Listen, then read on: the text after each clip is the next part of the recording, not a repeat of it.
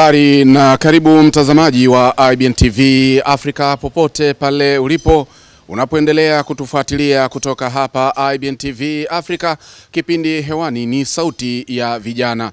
Sisi kama ilivyo kawaida yetu, tunazunguka na kutoka nje kabisa ya jiji la Dar es Salaam kwa ajili ya kuweza kukuonyesha au kukuonyesha vitu mbalimbali ambavyo vijana wajasiriamali wanaendelea kuvifanya ikiwemo e, masuala ya teknolojia, ubunifu pamoja na kilimo, lakini pia ufugaji na mambo mengi sana. Leo tumekuja hapa, tuko eneo la Pugu hapa e, tumekuja kwa ndugu yetu huyu ambaye bila shaka sio mgeni katika TV hii ya IBN TV Africa, kwani amekuwa ni mdau wetu mara kwa mara e, naye si mwingine bali ni ndugu yetu Emmanuel Mgonja ambaye tutakuwa naye leo katika kipindi hiki. Uh, Mgonja ana mambo mengi sana mazuri na hasa ni ya kiteknolojia. Ukijaribu kuangalia hapa niliposimama utagundua kitu ambacho Mgonja anataka kwenda kutueleza. Eh, kama ambavyo unaona tunauona ukuta wetu huu umejengwa hujapigwa lipo wala nini, lakini Mgonja amekuja na teknolojia mpya kabisa, kwamba hakuna sababu ya wewe kuja kupiga lipu, unachelewa, gharama nyingi. Hebu angalia alichokifanya hapa sasa, kabla hata wewe hujaweka lipu, yeye kasha kuwekea vitu vizito, na hatimaye eh, nyumba yako itakuwa inaonekana mzuri, lakini sio tu uzuri, uimara nao, uimara moja kwa moja. Kwa hivyo anakuja na teknolojia mpya kabisa ya skimming. Kwa hivyo mimi sitakuwa na mengi, kwani ndugu yetu huyu e, atatueleza e, shughuli zake hizi zote, namna ambavyo anazifanya ili tuweze kujifunza kutoka kwake. Lakini lengo pia sio kujifunza, tayari mgonjwa amekuja na teknolojia hii mzuri ambayo sisi sote tutakuwa tunahitaji, hususan kwa ajili ya kuimarisha majengo yetu. Mimi ni Mujahid Rashid Mujahid, lakini nyuma ya kamera naendelea kuwa na ndugu yangu Swalha Juma Ulamaa. Basi karibu sana, uendelee kuwa nasi. Na mtazamaji, kama ambavyo awali nimekufahamisha kwamba leo tumetembelea eneo hili la Pugu na tuko hapa na ndugu yetu Emmanuel Mgonja ambaye yeye amekuja na teknolojia mpya kabisa, lakini e, mimi nafikiri ni jambo jema zaidi niweze kumkaribisha Emmanuel Mgonja aweze kutufahamisha kile ambacho katuandalia leo, hususan wewe mtazamaji wangu, ili tuweze kufaidika kutokana na kile ambacho ameumiza kichwa, amekaa usiku na mchana kujaribu kufikiria kwamba nitawasaidiaje Watanzania kwa ajili ya kutumia pia uzalendo wake wa Kitanzania. Basi ametuandalia kitu kizuri sana, hususan wewe ambaye unajiandaa kutaka kujenga au umekwisha jenga, basi unakwenda kwenye finishing. Huko ndiko ambako mgonjwa sasa atakuwa yuko karibu sana na wewe mgonjwa. Uh, tumekutembelea bwana leo no. Lakini hii ni baada ya kuweza kuona vitu ambavyo unavifanya yeah, kwenye mitandao ya kijamii mm. Tukasema hapana, tusiishie kwenye mitandao ya kijamii, tumfuate mgonjwa aliko ili tuweze aende kutuelezea kinagaubaga zaidi kutokana na hii teknolojia ambayo wewe umeileta mpya kabisa. Nashukuru sana, nashukuru sana na kipekee kabisa ni washukuru IBN TV Africa, maana mmekuwa ni wadau wa kukuza maendeleo katika taifa letu, mkiwafuata watu, mkiwainua. Kwa hiyo niwashukuru sana management nzima wote, watangazaji, waandishi, kwa ujumla wenu, Mwenyezi Mungu awazidishie sana. Lakini pia kipekee niseme uh, nina kawaida moja, kwenye changamoto ndipo kuna fursa. Kwa hiyo unapoona kuna changamoto fulani katika jamii inasumbua watu wengi na suluhisho lake halijapatikana, inabidi hiyo itumie kama fursa.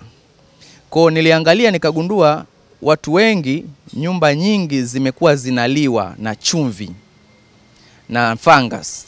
Kwa hiyo haya ni matatizo ambayo ukienda duka la vifaa vya ujenzi ukiuliza, bwana, nataka material inayoweza kutibu chumvi, huwezi kuipata.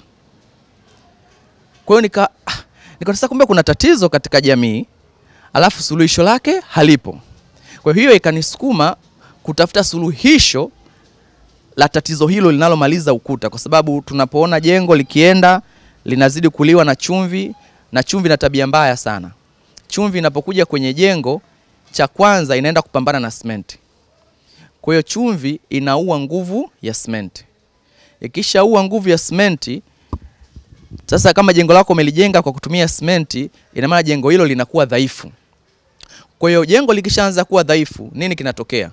Baada ya muda ule ukuta unalegea. Kwa hiyo ndio unaweza ukashangaa umeugusa kwa kishindo, ukuta umefanya nini? Umeanguka. Kwa hiyo maisha ya Watanzania yanakuwa kwenye hatari. Sasa nikaona haiwezekani kuwe na changamoto alafu suluhisho lake halieleweki eleweki. Kwa nikaamua kuwekeza muda, maarifa, kutafuta suluhisho katika changamoto hii ambayo imekamata watu wengi, na chumvi haiangalii bwana kwamba wewe una kipato au huna. Kwa hiyo yenyewe inakuja kwenye ukuta, haijalishi umejenga ufukweni kwenye fukwe za bahari au umejenga uswahilini.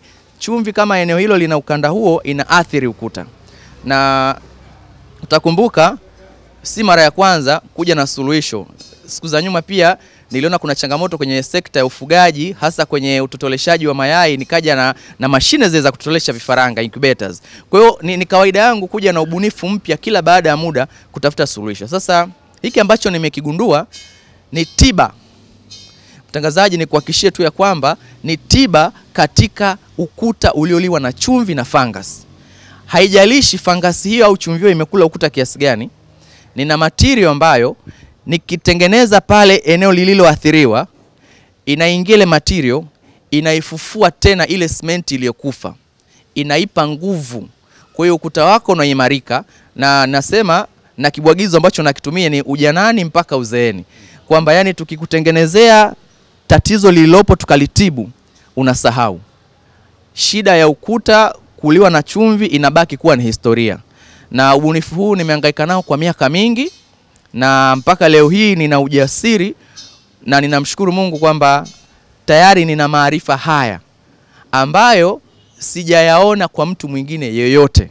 Kwa hiyo hiki ambacho naenda kukiwasilisha siku ya leo, mtazamaji uweze kukiona na kukielewa, ni suluhisho la chumvi na fungus kwenye ukuta. Lakini jambo la pili, nimeangalia kwamba watu wengi wanapambana na ujenzi. Akishajenga nyumba yake anapata changamoto kwenye gharama za finishing, anabidi apige plaster, Kwa hiyo unakuta gharama aje baadaye ya skim e, aje apige rangi. Kwa hiyo unakuta kuna gharama ambazo mtu anashindwa kuzimudu kwa wakati, na mwingine anaamua kuingia kwenye nyumba yake hivyo hivyo, akiwa hata haijapigwa plasta, inakaa inaanza kushika na fungus tena, na chumvi inaanza kula haraka haraka. Kwa hiyo sasa nikaona hapana, nimekuja na teknolojia ambayo ukishajenga nyumba hauna haja ya kupiga plasta. Ninakuja na matirio yangu niliyoibuni mwenyewe, nina skim nyumba yako, na nitakuonyesha mtangazaji na mtazamaji, mtaona leo live bila chenga maeneo korofi niliyoyatibu yaliyoathiriwa na chumvi na fungus, na mtaona leo maeneo ambayo mtu hakupiga plasta, lakini nime, nime skim vizuri na hutajua kama hapajapigwa plasta. Na teknolojia yangu yaichagui iwe ni tofali la, la kuchoma kama hili linaloonekana au lile tofali la lilotengenezwa na simenti, haichagui, yote ninaweza kutibu. Na jambo la tatu, sasa hivi nina material nyingine ambayo kwenye hizi gypsum board ambazo mtu unakuwa ushatengeneza gypsum board juu ya nyumba, nikikusikimia hiyo material, hata mvua imenyesha, bati lako limetoboka, ma maji yakashuka kwenye ile gypsum board, haiathiriwi na maji wala haiathiriwi na mvua wala hutaona alama huku chini. Na uzuri haya yote leo mtayashuhudia na mtapata kuyaona kwa uwazi na upana wake. Uh, ndugu mtazamaji, labda nikueleweshe kwanza fungus ni kitu gani na inafananaje katika ukuta. Hii unayoona huu kijani kijani huu ambao unaota, hii ni fungus, na hii huletwa na asili ya majimaji. Kwa hiyo fungus inapokuja na yenyewe inaathiri ukuta, kama unavyoona inakuwekea huu njano njano, ni uchafu, na wakati fulani unateleza, hata mwonekano wake haufai. Kwa hiyo hii tunaitibu na tatizo hili linaisha kabisa, halijirudii tena. Yaani tukilishalimaliza tumelimaliza. Kama uko kijana, labda mpaka ukishafika uzeeni, maana inasema ujanani mpaka uzeeni. Matofali ambayo yameachwa muda mrefu, hii yote hii ni changamoto ya fungus. Kwa unakuta weusi, hii hali ya unjano unjano, ukijani ukijani, sio mzuri, maana unavyoendelea unaendelea kuharibu taratibu ukuta. Kwa hiyo baadaye ukija kuchapia labda simenti hapa haitashika kwa sababu tayari fungus wameweka wigo na simenti haiwezi kushika fungus. Kwa unakuta mtu akija na karabati nyumba yake kama hivi, atapiga labda plasta, atafanya nini, baadaye anashangaa inaanza kama kubomoka, inatoka haikamati. anaanza kumlaumu fundi kwamba aliweka resho ndogo bwana ya simenti. Kumbe suluhisho la fangasi sio simenti, suluhisho lake ni material ambayo tumeibuni, tutakayo skim, tatizo litaisha. Na nikuonyeshe ndugu mtazamaji, uh, kama unavyoona ukuta huu, kuna baadhi ya maeneo nimejaribu kuyatibu kama sample ili kwako iweze kukupa wepesi. Unaona ukuta huu pia. Hapa nimepiga nimeskimu kwa awamu ya kwanza. Unaona? Hapa nimeskimu kwa awamu ya kwanza, tunasema ni mkono mmoja, na baada ya kuwa nimeskimu awamu ya kwanza, kipande hiki nikaskim awamu ya pili, kwamba nimeanza kuweka tiba inayomaliza fungus, na ikishashika vizuri, ninakuja kurudia awamu ya pili ya kuweka uzio kwamba fungus hapa mmefukuzwa, hamtakiwi tena, maisha yenu ni mwisho. Ukuta huu sasa unatakiwa uwe imara na uwe na mvuto unaoonekana vyema.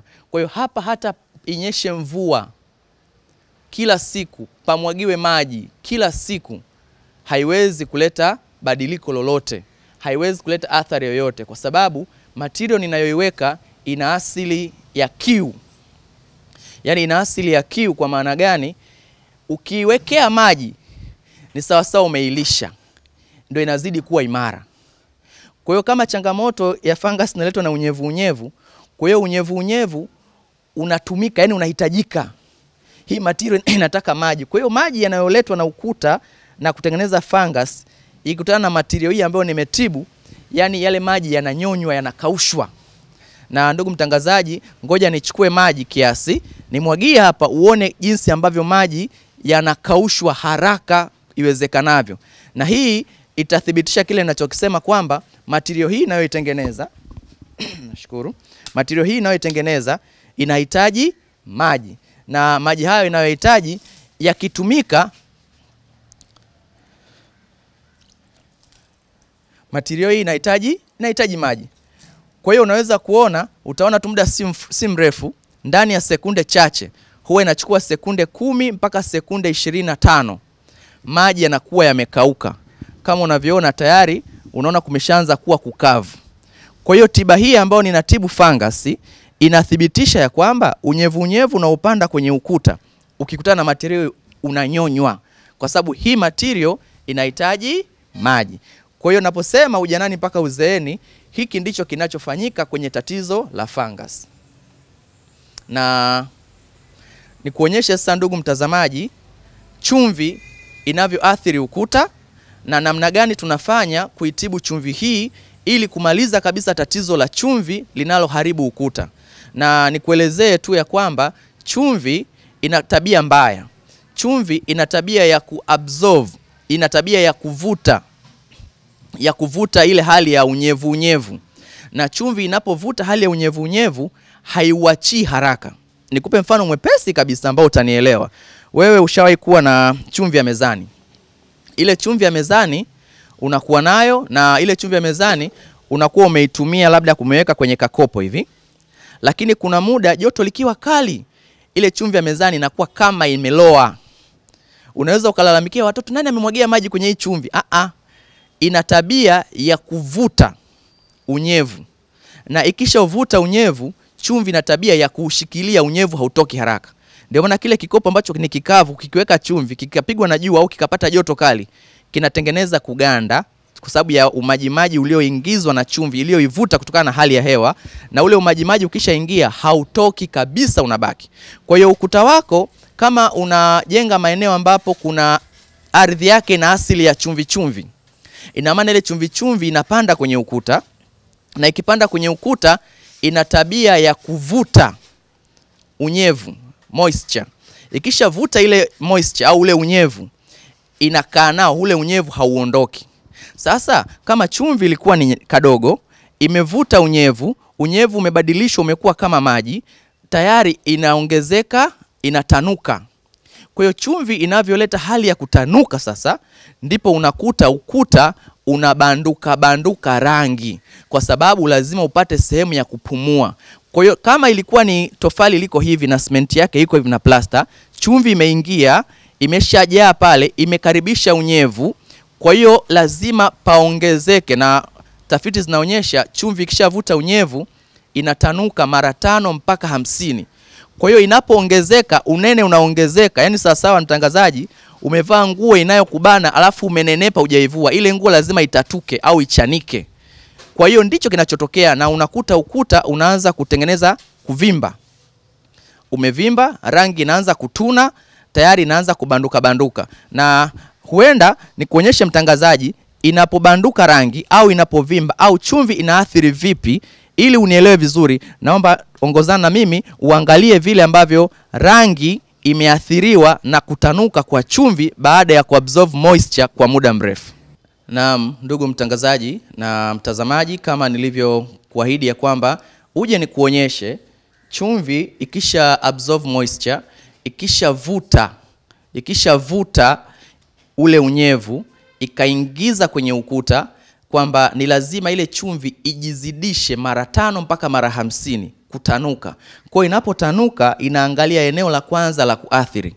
Rangi umeipiga kwa juu, kwa hiyo rangi uliopiga kwa juu, ukuta unapotanuka alafu unataka kupumua, ni lazima hii rangi itaathiriwa, na ndio maana unakuta rangi inaanza kutuna inaanza kutuna, baadaye rangi inaanza kubanduka. Sasa mtu asiyefahamu anaweza akaanza kumlaumu fundi, huyu fundi hajui kazi, amenipigia mbaya, erererere. Kumbe hajajua kwamba kuna asili ya chumvi ambayo imekuja ikaleta shida hiyo ya rangi kutuna na kubanduka, na mwisho, kwa sababu chumvi inapofanya vile, kitu kinachofanyika inaua simenti.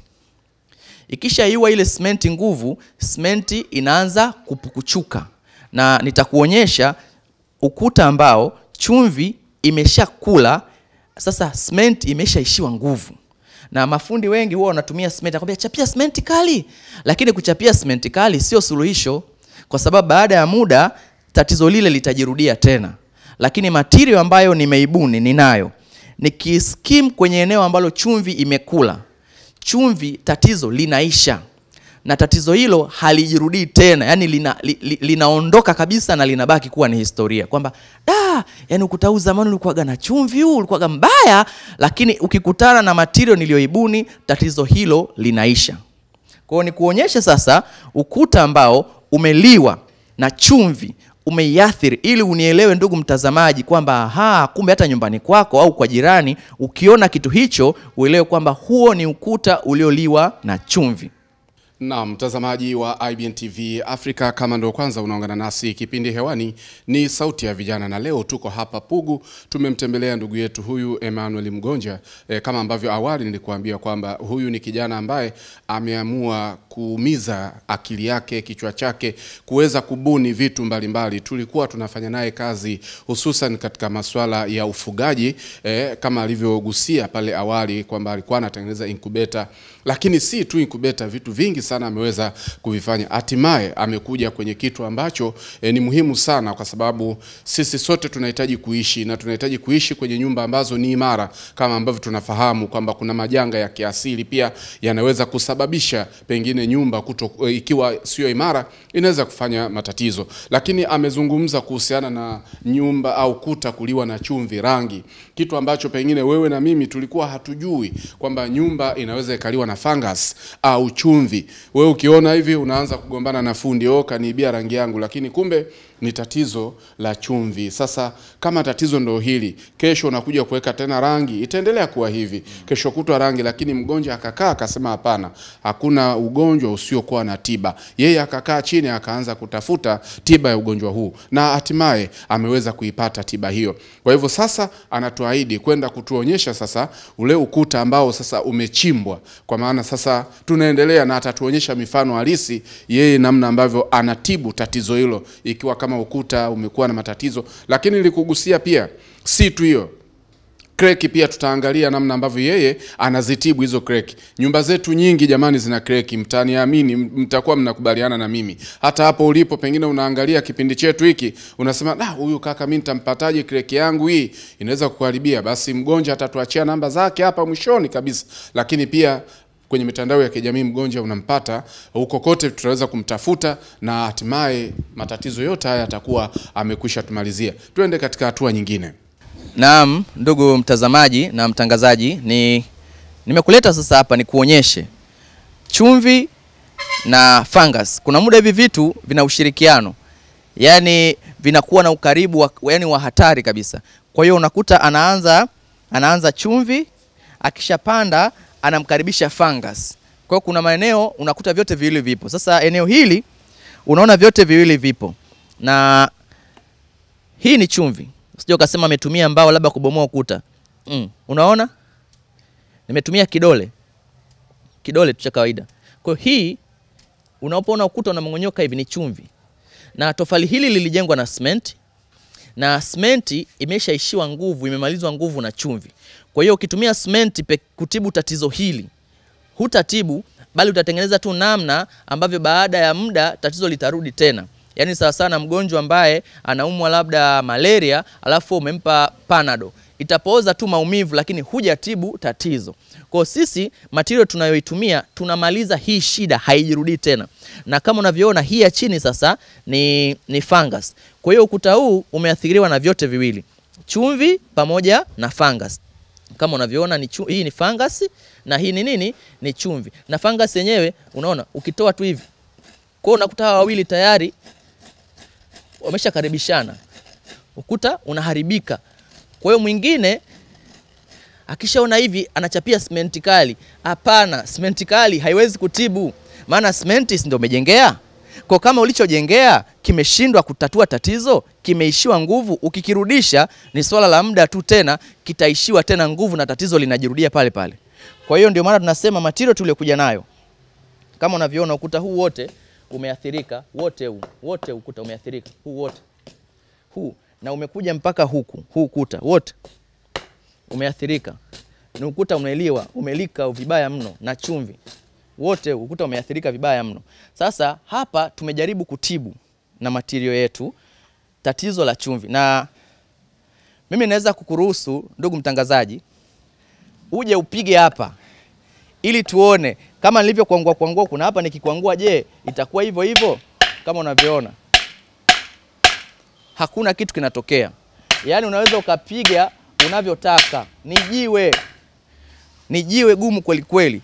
Kwa hiyo inakuhakikishia kwamba tunapotibu tunatibu tatizo katika ubora wa hali ya juu sana, na kukupa uhakika ya kwamba tiba hii tuliyoibuni ni ya uhakika, inakutoa ujanani mpaka uzeeni. Uh, hivi punde tu eh, ndugu yetu mgonjwa ametoka kutuonyesha namna ambavyo kuta ilivyoliwa na chumvi pamoja na fungus, lakini uh, katika pitapita pita yangu nimeona hapa eh, shimo sasa nikashindwa kuelewa kwamba shimo hili linakujaje, na wakati tayari hapa amekwisha tibu. Sasa mgonjwa atatueleza kwa nini imeshatibiwa hapa, lakini bado na ametuambia kwamba lazima ukuta uwe imara, lakini tunakuta kuna shimo hapa. Atakuja kutuambia kwa nini shimo, lakini pia kama hiyo haitoshi, tulizungumza kuhusiana swala zima la ufa Eh, kama ambavyo mtazamaji pengine kwa namna moja au nyingine utakuwa unaona, manake ufa mpaka vidole vinaingia kabisa. Sasa hii ni hatari pia. Eh, nyumba nyingi zimekuwa hivi, na kama ambavyo tunafahamu, hususan jiji letu la Dar es Salaam, unakuta watu wanajenga nyumba, lakini mvua kubwa zinakuja zinapasua nyumba. Kwa hivyo hiyo nayo ni hatari nyingine, kama hivi tunavyoona hivi. Mtu anaweza akaamua kuishi hivi. Kwa nini? Kwa sababu anashindwa, anasema mimi bwana, nimeshindwa bwana. Anakuja fundi ananiwekea simenti hapa, hakuna kitu, ananiwekea simenti, napoteza tu gharama. Sasa mgonjwa akasema hapana bwana, mimi nitakuja kukuletea suluhisho. Kwa hivyo pia atatueleza kwamba naona hapa ameziba. Sasa sina uhakika kama e, ndo solution yetu hii kwamba hapa pote palikuwa na, na, na, na, na, nyu, na ufa kama huu ama la. Mimi nimkaribishe tena mgonjwa ili aweze kutuelezea eneo hili pia. Nashukuru sana, na mnajua mimi huwa napenda kuwa mwazi. Na napenda kuwa mkweli, na unapokuwa mgunduzi katika teknolojia hupaswi kuwa na kona kona, na ndio maana nikasema tangu mwanzo matirio hii ni uhakika na inatibu tatizo. Ni kweli tumetibu tatizo, na umeona hapa kuna shimo hapa, na hili shimo labda nilielezee vizuri kwamba matirio hii ni lazima nikupe maarifa ya kuitumia. Ukijaribu kutumia wewe kama wewe, hutaweza kutibu tatizo. Ndio maana hata hospitalini daktari anaweza akakuandikia sindano, lakini lazima umpate mtaalamu wa afya ili akudunge ile sindano. Wewe ukishasema si nimeona amechoma hivi na wewe ukajichoma, unaweza ukajiletea matatizo, ukachoma mahali ambapo hapatakiwi kuchomwa. Kwa hiyo hapa ni mfano nilimpa kijana ambaye yeye anaamini ni fundi ili apige atibu tatizo hapa, lakini akashindwa kulitibu, na nikasema sitaliziba, maana nataka liwe darasa kwa wengine, kwamba matirio hii navyozungumza sasa hivi nimeshawaelekeza mafundi sabini ambao wanajua namna ya kuipiga matirio hii. Kwa hiyo fundi ambaye anaweza kuskim kawaida, akitumia kuskim hata tibu tatizo. Huyu aliyefanya hapa aliskim juu bila kutibu tatizo, kwa sababu ninapoitumia material hii kama tiba ni lazima nichimbe, na nitakuonyesha sasa katika ukuta mmojawapo ulioathirika, nitautibu ili uweze kuona ni namna gani ninafanya. Ni lazima ukwangue ukwangue lea fulani ya ile chumvi, kwa sababu chumvi huwa ina kawaida ya kukaa katika sentimita kadhaa, inajibana hapo sentimita nne mpaka sentimita sita. Ndiyo mara nyingi inapenda kuathiri leya hiyo, kwa sababu unyevu wa nje au ile moisture huwa ina, inakuwa absorbed au inavutwa kuingia katika tofali umbali wa sentimita 4 mpaka sentimita sita. Kwa hiyo eneo hilo la sentimita nne mpaka sentimita sita ni lazima likwanguliwe vizuri ili sasa uweze kuingiza tiba, kwa maana ile tiba ikishakaa, hata chumvi haiwezi kuwa na mawasiliano na hali ya hewa ya nje, haiwezi kumuita tena yule ule unyevu kwamba bwana, njoo tuharibu jengo, haitawezekana tena. Na matirio hii ikishaingia inahafifisha nguvu ya chumvi, yaani ni sawasawa maji yenye labda umezisha chumvi kwenye mboga, ukiongeza maji mengi, ile chumvi inafanya nini? Inapungua nguvu, inapungua nguvu, unai neutralize. Kwa hiyo ukiskim juu juu tu ni lazima pabomoke. Kwa hiyo kama nilivyosema, niona kwa hiyo huyu ameskim juu, unaona ameskim juu. Kwa hiyo ukiskim juu hutatibu nini? Hutatibu tatizo, na ndio maana nilikuonyesha mahali fulani nilipiga kabisa na mbao hapajaweza kubomoka wala kuleta shida, kwa sababu tulikuangua zile sentimita nne mpaka sita ambazo chumvi ndio inakaa na kualika unyevu uingie. Tukalipofika pale tukatibu. Kwa ni lazima fundi anayenisikiliza anayetamani kutibu ukuta kwa matirio hii ni lazima akwangue ukuta au kuangue sentimita 4 mpaka sentimita sita ili anapotibu aweze kutibu moja kwa moja. Kwa ndugu mtangazaji, si kwamba matirio imeshindwa kufanya kazi, la hasha, ila ni sindano aliyopaswa kuchoma mtu kwenye mshipa, yeye akajichoma kwenye ngozi. Na mtazamaji, hayo ni maelezo sahihi kabisa ambayo sasa umepewa, kwa maana haya maswala yanaenda kitaalamu, sio kwa kuwa wewe tayari umepata hicho kitu basi uende tu ukafanya. Sasa mgonja, mimi nataka niulize hmm. Je, hii skimming manake kazi yake kubwa ni kutibu tu, au mimi nimejenga nyumba yangu hmm. ni mpya kabisa hmm. je, nayo lazima uikwangue ndo uweke hiyo skimming, au kwa kuwa ni mpya haina shida? Nashukuru, swali zuri. Hii material ni multipurpose, yaani inaweza kutumika katika maeneo tofauti tofauti. Kwa hiyo nikijua kwamba ninatakiwa kuziba nyufa, kuna vitu naviongeza kwenye hiyo material ili katibu ufa. Nikijua kwamba material hiyo inaenda kupigwa kwenye ukuta ambao haujaskimiwa, I mean haujapigwa plasta, yaani mtu kajenga kama hivi, anataka ni skim na isionekane, kuna namna ninaichanganya iweze kufaa kwenye ukuta wa namna hiyo. Kuna mwingine amejenga nyumba yake amepiga plasta vizuri tu kabla haja skim material nyingine yoyote. Kwa hiyo kuna namna ninakuja ninaichanganya hii material, nikiskim pale nina skim ina inapendeza, na nikisha skim mimi huna haja ya kutumia material nyingine yoyote. Kinachofuata ni kupiga rangi, na rangi ukiipiga kama nilivyokuonyesha mtazamaji, kwamba material hii ina asili ya kiu, yani ukiipiga rangi ina maana inashika kweli kweli, tofauti na rangi inayopigwa kwenye matirio nyingine, kwa sababu hii ina asili ya kiu ya kung'ang'ania, ni king'ang'anizi huyu. Kwa hiyo ndio maana hata ule unyevu ambao unakuja ili uungane na chumvi kuharibu ukuta, ukija unang'ang'aniwa. Ukishang'ang'aniwa, hii material inakula. Yaani ni sawasawa umeamua kufuga paka na panya. Kwa hiyo panya akikatiza, paka anachukua anakula yule panya. Kwa hiyo chakula cha hii material ni unyevu na maji na chumvi, na ndio maana tunasema inatibu, kwa sababu chumvi ikishaona hii hilo shimo, yani hilo eneo, hiyo chumvi inakimbia na tafuta pa kwenda, inaona tayari majanga yameingia.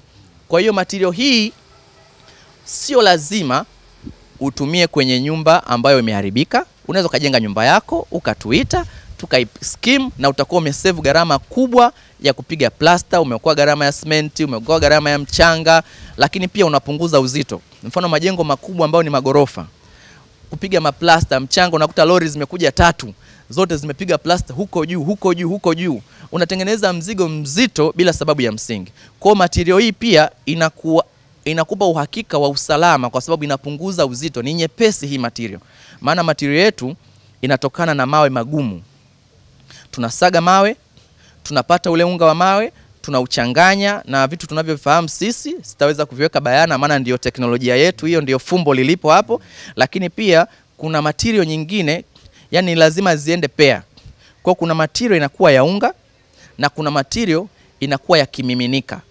Kwa kile kimiminika kuna vitu vingi nachanganya na vichanganya na vichanganya kiasi kwamba nikiunganisha sasa hii material ya kimiminika na hii material ya unga inatengeneza kitu ambacho kinarudi katika ule ugumu wa lile jiwe, mwamba mgumu kabisa ambao ndio chimbuko la matirio yetu. Na Asante sana na mtaza, mtazamaji wa IBN TV Africa eh, Waswahili wanasema Mungu akupe nini? Teknolojia ndio hii imekwisha ingia na lengo kubwa ni kuweza kuimarisha nyumba zetu. Basi naona sasa tunaelekea kwenye upande huu eh, niliuliza swali kuhusiana na, na, na, na nyufa pia. Naam. Naam, ndugu mtangazaji na mtazamaji, ni kuonyeshe sasa ufa. Kama unavyoona ufa huu, kwa mtu anayefahamu majengo, umeanzia juu, umekuja, umeshuka, ufa huu umepitiliza mpaka chini, na ukiangalia hapa chini unaweza kuona asili ya ufa ulipo. Koni ulipita, umepasua kote, yaani ufa hauna kawaida ya kuanzia nusu, yani kipande hivi. Kwa hiyo ufa huu ni mkubwa na umekula na kama unavyoona huyu aliyefanya hapa alichapia simenti kali aka akazibaziba na simenti kwa juu, lakini haikuweza kutatua tatizo. Sasa material ninayoitumia kuziba nyufa, ni lazima mtazamaji aniambie kwamba anataka material hii kwa ajili ya matumizi gani, na ndio maana huwa ninashauri mtazamaji anapohitaji material hii ni lazima nipeleke mafundi wangu saiti kwake wakaitumia wao kutibu tatizo ambalo lipo, kwa sababu tayari wana maarifa ya kutosha. Na ufa huwa tunaubomoa, unaubomoa vizuri. Ukishabomoa hii material unaizamisha ndani, unaizamisha ndani, unaiskimu, unaizamisha ndani. Ikishazama unasubiri kwa dakika tano, kwa sababu ndani ya dakika tano material hii inakuwa tayari imeshakuwa jiwe. Ikishakuwa jiwe unarudia tena kwa mara nyingine ya pili, unakandamiza, na ikiingia ndani ina kawaida ya kusambaa. Yaani ni kama leo ukimwaga maji hapa hayawezi kutua hapo hapo, lazima yasambae. Kwa hiyo inapoingia ndani inasambaa kwenye kila mahali ambapo kumeachia. Kumbuka kwamba ina, ina namna ambavyo inaimarisha simenti iliyochoka. Kwa hiyo ikishaingia ndani inasambaa, inasambaa, inatengeneza mawe magumu kama mwamba ikishatengeneza baadaye, utashangaa ulipokuwa umeweka imenyonywa yote imeingia ndani. Utarudia kwa mara ya pili, mara ya tatu. Sasa utaskim tena pale lile eneo kulijaza. Ukilijaza utakaa kwa dakika kumi na tano na baada ya dakika kumi na tano tayari ufa wako unakuwa umeshabadilika, na ndipo unachoona kilichofanyika, na linakuwa ni jiwe kama chanzo cha matirio hii ambayo ni mawe magumu yale ya mwamba. Kwa hiyo uhakika wa ufa kuzibika unakuwa umepatikana na ufanisi unakuwa yani, hapa swala la ufa kutokea tena ni historia, ujanani mpaka uzeeni, haitokei tena. Yani, hapa imeishaisha.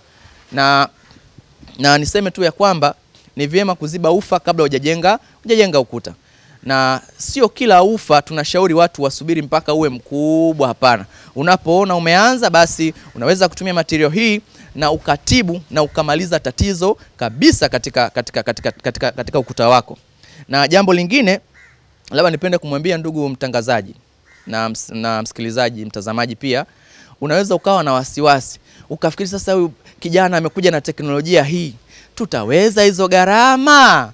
Yaani unaweza ukajiuliza ukafikiri jamaa sasa teknolojia yake ni ya mamilioni. Hapana. Labda nikupe mfano. Chumba kimoja cha kawaida vyumba vyetu vya Uswahilini ambacho mtu anataka labda tumsikimie na katika matumizi hayo, iwe nyumba ina plasta, iwe haina plasta, iwe naziba ufa, matirio yangu ndani yake, kile kipengele cha kuzuia chumvi na fungus kipo. Yaani pamoja nitaongezea vitu kwamba hii naziba ufa, niongezee vitu fulani vya kuziba ufa, niongezee vitu fulani kwa ukuta ambao hujapigwa plasta, au nifanye nini kwenye ukuta ambao ushapigwa plasta, au nitibu. Lakini hayo mambo mawili ni lazima yawemo kwenye huo mchanganuo wangu kwamba inazuia fungus na kutibu na inazuia chumvi na kutibu. Kwa chochote nitakachokufanyia kwa material hii ni, ni suluhisho la moja kwa moja na gharama. Labda nikupe mfano kachumba kamoja vyumba hivi vya Uswahilini ambacho nataka nikusikimie chumba haifiki elfu sabini. Kwa hiyo ninaposema kwamba nimekuja na ubunifu ambao utamrahisishia Mtanzania kuweza kujiweka katika mazingira salama ya jengo lake lakini kwa gharama nafuu. Ingekuwa haina maana kama nije na ubunifu wa namna hii alafu niseme material labda iwe gharama kubwa, ningekuwa bado sijamsaidia mtanzania wa chini. Lakini katika maisha yetu hakuna mtu ambaye anaweza kushindwa kupata elfu sabini kwa ajili ya kutibu tatizo linaloweza kupelekea ukuta ukaanguka akatumia gharama kubwa kutibu. Kwa hiyo nitoe rai kwa taasisi, makampuni, mashirika, viongozi kuna majengo mengi pia ya kiserikali, vituo vya afya ambavyo vingine vina changamoto, na mimi nimesema kwa sababu na mimi watu kama IBN mmekuwa wema kwa Dar es Salaam hii. Iwapo kuna kituo cha afya au zahanati ya serikali, sio ya mtu binafsi, imeathiriwa na tatizo hili la chumvi au fungus, mimi nitatoa material bure ya kwenda kuimaliza tatizo lile, nitatoa na fundi wa kwenda kurekebisha, maana tunapopata lazima turudishe kwa jamii. Kwa hiyo hiyo nimeitoa, na kama kuna mganga mkuu au wauguzi ambao wanapitia changamoto hiyo, naamini watapata namba zangu za simu, tutawasiliana, tutaona picha, tutashauriana. Inaweza nisiweze kwa mkupuo, maana niliweke wazi kwamba vinaweza vikaja vituo labda ishirini vyote kwa mkupuo, nguvu yangu bado ni ndogo, lakini nina nia ya kufanya hivyo kama sehemu ambayo nimejiwekea kutoa sadaka kwa kile ambacho nimefanikiwa kukigundua. Maana teknolojia hii hata ukigugo hupati, hata uingia kwenye mitandao hupati. East Africa nzima hakuna, yani hakuna mtu ambaye anaweza kawa na ujasiri wa kusema ana teknolojia ya kumaliza chumvi na fungus kwenye ukuta isirudi tena. Kwa ni kitu ambacho nimejaaliwa ni kikubwa. Kwa na mimi lazima nitoe sadaka kwa watu wenye uhitaji, na sehemu ambayo ninaiona ni sekta ya afya.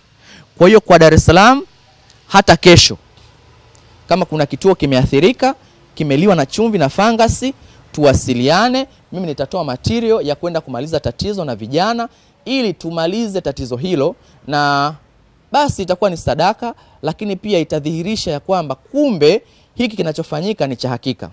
Lakini pia nitoe rai, kuna mashule mengi ambayo yameathiriwa na, na changamoto hii pia.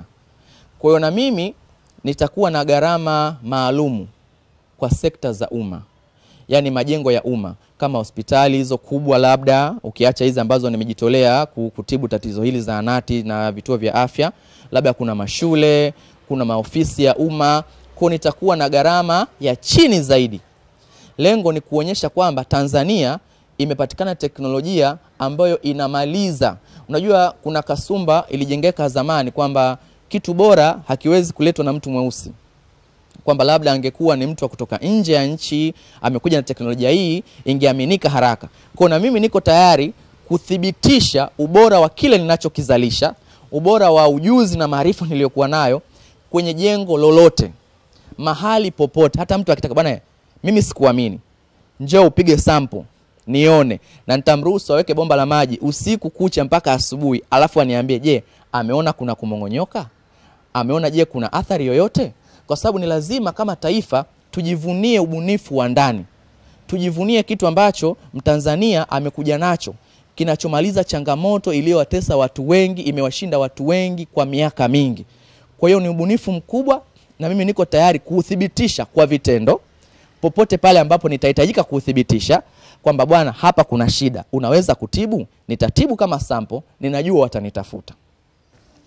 Naam, ndugu mtazamaji, natamani nikuonyeshe pia moja ya majengo ambayo tumea skim na matirio yetu yakiwa hayajapigwa plasta na namna yanavyoonekana, ili sasa ujiridhishe ya kwamba kumbe kitu hiki kinawezekana, hata wewe unaweza, na tukatibu nyumba yako na swala la fangasi na changamoto zote zikabaki kuwa ni historia.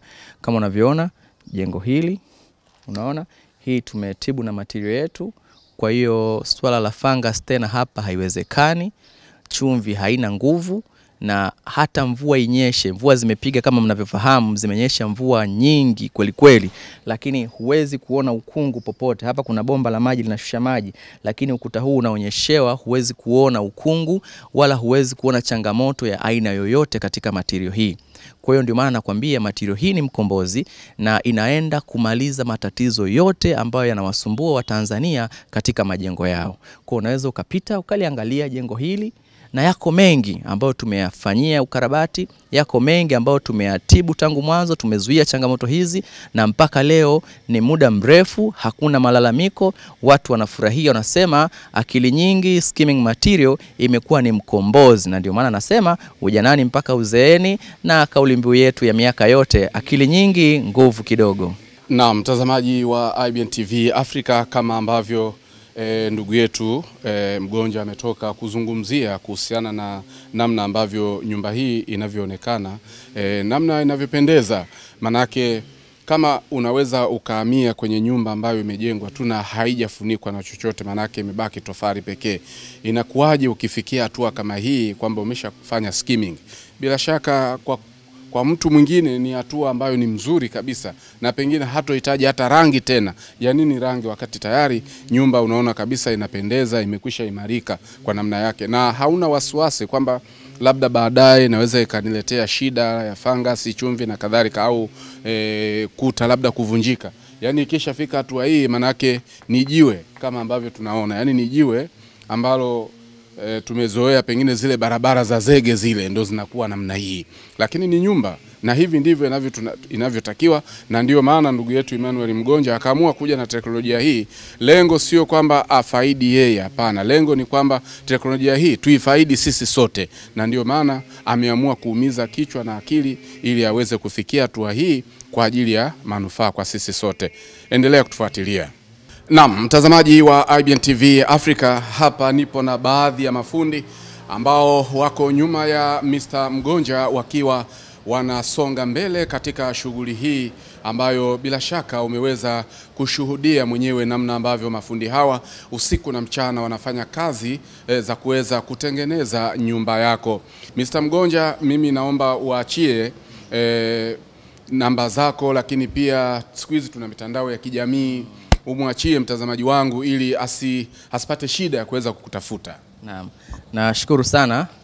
Na kwenye mitandao ya kijamii natumia akili nyingi nguvu kidogo. Kwa hiyo Instagram ukiandika akili nyingi nguvu kidogo utanipata. Twitter ukiandika akili nyingi nguvu kidogo utanipata. Facebook ukiandika akili nyingi nguvu kidogo utanipata. Lakini kwa WhatsApp napatikana kwa nambari ya simu 0713 sita tano moja nane tano nane sifuri saba moja tatu sita tano moja nane tano nane. Akili nyingi nguvu kidogo. Katika kipindi hiki ulikuwa nami Mujahid Rashid, lakini pia nilikuwa na ndugu yangu Swalha Juma. Nitoe shukrani zangu za dhati wewe mtazamaji kwa kuweza kuwa nasi, lakini pia nitoe shukrani za zangu za dhati kwa akili nyingi nguvu kidogo. Asante.